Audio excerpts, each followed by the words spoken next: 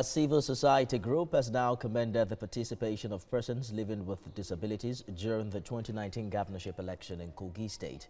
This was made known during the public presentation of Breaking the Barriers Accessibility Audit Report done after the state election. The group also urged the Independent National Electoral Commission to implement recommendations made in the report before the 2020 off-cycle elections in Edo and Ondo states, as well as the 2023 general election. Services Kemi Balogun was there. Nigeria accounts for about 28 million persons living with disabilities, and the Independent National Electoral Commission had pledged to ensure that 25 million people with disabilities participated in the 2019 elections.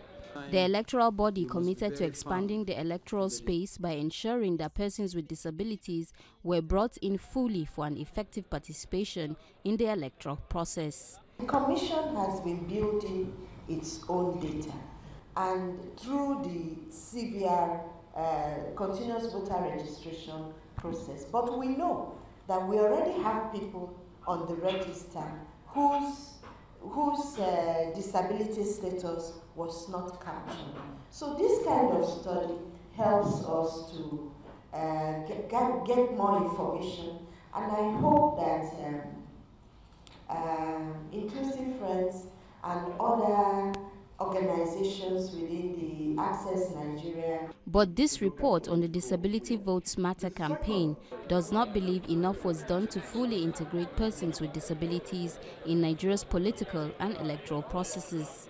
The Access Nigeria campaign collected Nigeria's first set of representative data on the barriers that persons with disabilities face on election day during the off-cycle governorship election in Edo, in 2016, Ondo also in 2016, and in Kogi State in 2019.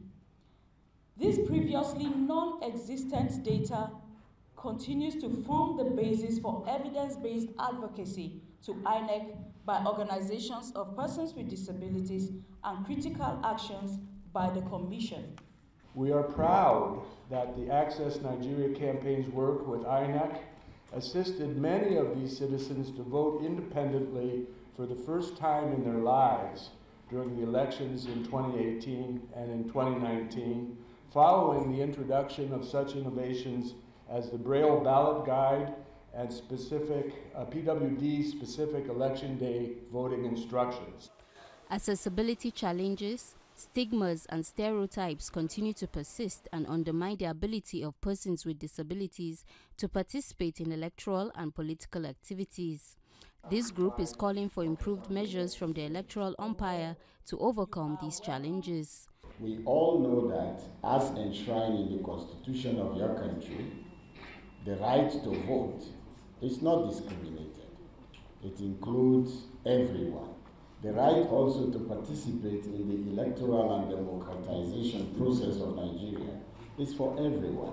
The group also calls on all partners to ensure peaceful and safe elections, which would be of great benefit to Nigerians with disabilities and all voters before, during, and after election day.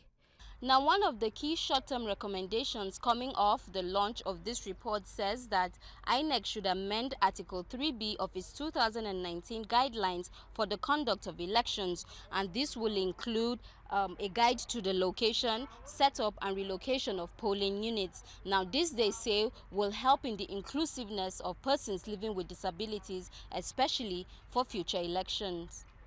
Kemi Balogun, TVC News, Abuja.